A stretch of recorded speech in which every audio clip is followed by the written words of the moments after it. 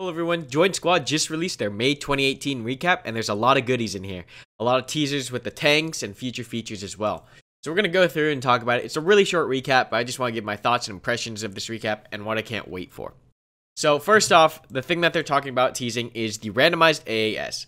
And I think this is going to do a lot for Squad because right now we're limited to a couple layers that the devs have put out and we're kind of locked to that. Custom maps and layers don't really get used on custom servers too often. It's really hard to keep a custom server popped. So randomizing AAS will allow more dynamic play- replayability as far as AAS goes. My one gripe with this is that AAS as a game mode, for me, actually is not that fun. Uh, AAS is really static. It focuses on single points on the map, and it doesn't really open up the map like uh, how Hell Let Loose or other territory territory control game modes open up maps. It's still a very uh, singular, linear uh, kind of dimension that you're working with as far as gameplay goes. But randomizing it can help the dynamic gameplay as far as the current version of AAS. Uh, I can't wait for uh, Squad and Postscriptum to implement their own versions of territory control simply because I believe territory control is the future. But for now, randomized AAS will have to do in terms of uh, reviving the replayability of Squad. So what it essentially is is exactly what it sounds like. Uh, there's going to be multiple different cap zones, and the map will generate which series of chains and which path it'll use for that particular layer. So every time you play that map, it'll pick a different point. And while that does allow you to play over different parts of the map every single time, it doesn't open up the entire map, like I said before. Uh, whereas in games like Hell Let Loose, you're able to use the entirety of the map every single game. Uh, so it'll be interesting to see how well they implement this and how this does refresh AAS. But personally, I'm still waiting for territory control for Postscriptum and Squad. Uh, the next thing that they're talking about is the vehicle component damage system. Now, as a lot of you know, Postscriptum and Squad share the same core OWI system. This means that a lot of their features are going to be rather similar. Uh, so you can see that the features within Postscriptum, as far as vehicle damage and the tanks, they're trying to bring towards uh, Squad. So localized damage, where you know hitting certain parts of the tanks will do certain amount, uh, certain amounts of damage and damage certain systems. That's, I believe, going to be prevalent in both Squad and Postscriptum, and we're most likely going to see that when uh, in both games at the same time. So when Squad works on something or when Postscriptum works on something, uh, you can bet that they're going to be sharing those systems between the two games, which is amazing because you know it accelerates the development process of both these games. But it, it just doesn't really surprise us, right? Because it's expected at this point because they're sharing the same system. But it will be cool. This is something I have been waiting for, you know, to be um, to mobility kill a vehicle or to knock out its gun, right, or to slow it down with your weapon. That's gonna be awesome because instead, right now, the current system is you just blow it up. So if a BTR takes three lat shots and it's still alive, it's still working 100% capacity. It's still killing as efficiently as if it was at 100% health. Whereas right now, whereas in the future, as it takes damage, as certain systems uh, take hits, it's going to decrease the effectiveness of that vehicle, which is, I think, a good model to have, right? Because you don't want like one vehicle taking two lat shots and still working completely fine. You want to have some kind of model where that vehicle does degrade with the amount of damage it takes, right? Decreases its combat effectiveness. It changes how that vehicle plays and how that crew's thinking, and it'll definitely change the pacing of vehicle combat. So can't wait for this. This is going to be very exciting. It's going to slow down the vehicles, I think, and give infantry more of a shot because right now, like, if you miss your, or, or even if you hit your lat shots, that vehicle's still operating 100% and you're out of ammo now and it's still operating. So this is going to balance the infantry and uh, vehicle gameplay. So I can't wait for that. That's going to be really cool too. Uh, turret stabilization. This is something that a lot of you are waiting for. Uh, this is going to stop people from having seizures. Uh, right now, Squad and Postscriptum both have vehicle stutter simply because of the servers from the OWI core, and that's driving people nuts in the turrets. Uh, but once they fix that and they add turret stabilization, it should be so much easier for drivers and gunners to work together. Uh, your gun is going to be much more stable. You're not going to have the jitteriness. You're not going to be nauseous. You're not going to feel like you want to throw up uh, while you're manning a turret anymore. It's going to be a lot smoother. It's going to be stabilized, and the stuttering hopefully will be gone as well, which makes vehicle gunners on the move extre extremely more lethal than before, right? Because right now in, in squad, you have to stop the vehicle in order to get accurate shots on.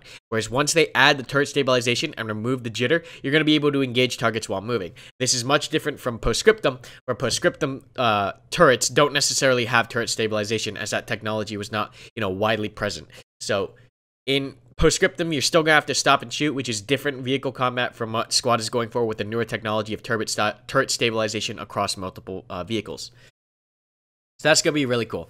Uh, modding for Linux, this is you know just for those uh, server owners, uh, and then the new assets that, that they're adding, the FV432 uh, APC, right? This is gonna be the British APC. Right now, the Brits only have two vehicles, right? They have their support trucks and they have their warrior. They don't really have an in between, right? Like the uh, Russians have the MTLB and the BTR, and the US have the uh, the MATVs and the BTRs, and now the Bradley as well. So it's gonna be really cool to have another asset in there for uh, Brits. They're going to get a little bit more flushed out, have that center APC vehicle that uh, the other factions have, right? So it's like this is kind of their mirror to the MTLB, uh, which is good because uh, you can't really load up too many people in the Warrior. Hopefully, this FV43 uh, 2 can carry a lot more.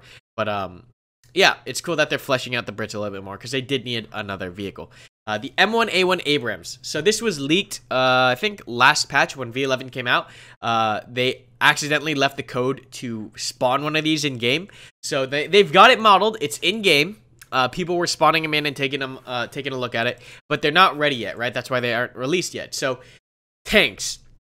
Now, before my my previous opinion of tanks were meh, right? I don't really care for tanks, right? That was my original thought. After playing Postscriptum multi-crew tanks, I love tanks. I'm in love with tanks. Uh, more specifically, I'm in love with the idea of multi-crew tanks. Working with four people in a Cromwell was one of the most experiences while gaming I've ever had. And like War Thunder and World of Tanks, like these don't even match it because I think the thing that pulls it together for me is the multi-crewed aspect, right? The fact that you're communicating and there's teamwork involved with multiple people in one vehicle. Uh, and that's going to be with the vehicle, uh, with the tanks, because right now BTRs and all the other armored vehicles right now in squad, those are two-man vehicles. But once they get tanks in, I do hope that they work on fleshing out the crew systems for a lot of these vehicles and make it so that it's a multi-crew effort, not just a driver and a gunner, because uh, that would be really cool. That that level of teamwork and uh, you know coercion or not coercion uh cooperation is just what squad is about right? That teamwork that communication it's so important and it really brings the game into its own form right? Sets it apart from battlefield and cod and all these other games where you don't even need to talk to anyone. So the, the reason why squad is so popular is because that level of teamwork is necessary. That level of communication is vital right so seeing that being transferred not only from the infantry level of things, but to the vehicles is going to be great. Because I think the gunner driver thing is a little bit too easy, and it's just uh, it shows so much in Postscriptum how much fun a multi-crewed, a good multi-crewed tank system works. Uh, so I can't wait for the M1A1 now. I can't wait for the tanks. Just having a multi-crewed uh, just because that's going to be so much fun to work with a team like a small group of four guys rolling around the map taking out enemy armor. Of course, if they introduce the M1A1, they got to int introduce a Russian counterpart, which is the T-72, right? Uh, very popular tank, very widespread tank. Uh, and this is going to just be the Russian counterpart. So, you know, those tank v tank battles are going to be a thing, and I can't wait to get them in squad. I love them in Postscriptum. It's like my favorite thing to do in Postscriptum is rock around in a tank.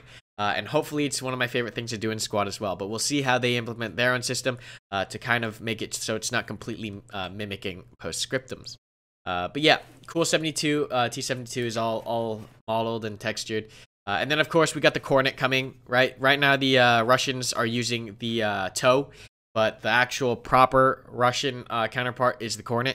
So you know this is going to be the counterpart to the Americans, right? So they did the same thing a long time ago when they added the uh, 50 cals. They gave everyone 50 cals until they got the Dishkas and the NSV modeled. But once they got this mod, they handed them out to the right uh, faction. So this is something I think we'll see them do a lot. It's like once they get a, a, cool asset done, they'll just give it to all the factions until they flesh out the counter, the proper historical counterparts to the uh, to the other factions, right? Or not historical, I guess, the just proper ones, right? It's not really historical; it's current. Uh, but all right, Belaya update. So this got me thinking uh, they're doing a map update where they're trying to increase the cover. So Postscriptum really showed how well their map design was. There was cover everywhere. There were ditches. There were things to get behind. Uh, there were things to, to crouch uh, underneath. There were things to, to, to get you to a point without getting shot in the open. And it showed me how bad Squad's map design is right now. At least how unfleshed out it is. Because in Postscriptum, you could find cover everywhere. There's a ton of things, rocks, uh, overturned uh, baskets, like uh, sheds, um, ditches, uh, trenches. There's a ton of stuff, uh, berms that, that you could get prone behind or, or crouch behind. In squad, I've talked about this before, but in squad, the majority of the cover is vertical. You got trees or buildings and very few rocks. Uh, Kamdesh is one of the newer maps that actually has a lot of horizontal ground cover, uh, whether it be a ton of rocks on the floor, tree trunks lying down. Uh, Kamdesh is one of the uh, maps that actually has the proper amount of cover. I do think they could even go for a little bit more. Uh, a lot of these other maps, Belaya, Gordok, uh, Kohat, uh, Fool's Road, a lot of these maps lack cover. You got open grass, you got a couple rocks here and there, and then you got trees. And honestly, the tree hi hiding behind a vertical thin tree is just getting old, right? I want something that's solid that can get down behind, and Kamdesh was one of the first maps in Squad that had that. I hope they follow Postscriptum's example and continue adding more things on the ground to get behind, because Postscriptum had so much stuff. They even had like trenches and small little ditches you could get down into. Um, like, and there was just so much cover. You were never really stressed for cover unless you intentionally walked out into an open field. Uh, they even had like gliders in the open fields and actual objects in the open field aside from trees that gave you a ton of cover. So I'm hoping as they go back and rework, as squad goes back and rework some of these maps, we do see a lot more of that ground horizontal cover rather than just trees and bushes because uh, it, it, really, you really do feel exposed in squad compared to postscriptum, especially with the amount of optics that contemporary forces have in squad, right? It's really hard to cross any terrain in squad because there are so many optics and there's just not that much cover. So hopefully, you know, they work on that and they uh, get all that cover and take a note from Postscriptum, which has absolutely amazing map design. Um, the tank combat, can't wait for it especially after playing Postscriptum. Honestly, Postscriptum did a lot of things right. There are a couple of things I want to see him change. You can go see my uh, first impressions of Postscriptum's video uh, on my channel as well, and uh, where I go in more in depth about what I liked about Postscriptum. But yeah, both of them working together, right? Postscriptum and Periscope, or not Postscript, Off-World Industries and Periscope Games sharing the same off-world core, uh, working and sharing systems is going to mean a lot of progress, a lot of development going on between the two, sharing those features, and then we're going to see a lot of progress uh, at a really fast rate because they're sharing the same system. So a lot of cool things. Um, I'm very excited at how fast they're going to be able to push out content. That's, I think, the most important thing that we take away is that they're going to be able to push out content really quickly with the way that they're doing things. And that's good because, uh, you know, Squad was at a period where the development cycle was taking a long time. Patches were months in between. And it looks like we're getting a patch at least a month now, every month now. So that's hopefully the pace that I hope that they keep just to keep the game fresh, flesh out the game more. But yeah, thanks for watching, guys. I hope you guys did enjoy. Remember to leave a comment and like, uh, and then make sure you subscribe and hit that bell button for future content. Thanks for watching, guys, and I'll see you in the next one.